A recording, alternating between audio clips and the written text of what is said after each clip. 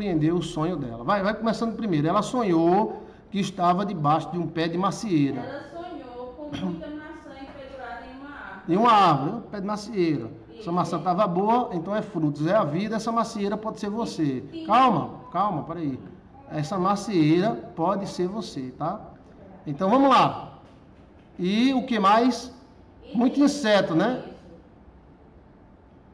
Então, muito inseto pode significar espírito, muito inseto pode significar demônios, gente ruim.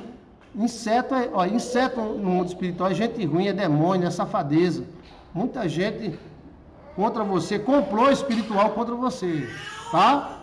Então dá para terminar o sonho? Então vamos lá, né? E tinha muito inseto rodeando.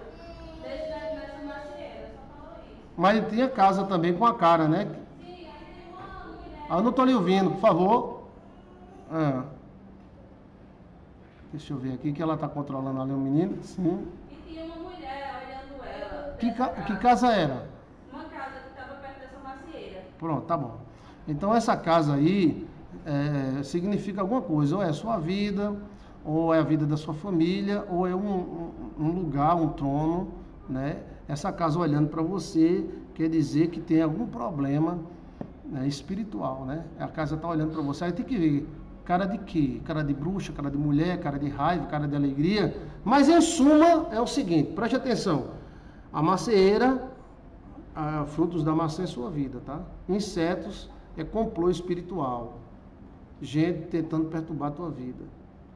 É, e essa casa com a cara olhando para você significa que um espiritual está olhando para você, ou um espiritual do mal ou um espiritual do bem. Essa casa representa um trono, um domínio, uma família, um ser, um grupo de seres, tá? Ou sua vida. Mas como não houve detalhes, não dá para dizer o que foi. Tá bom? Tá respondida a pergunta? Vamos embora?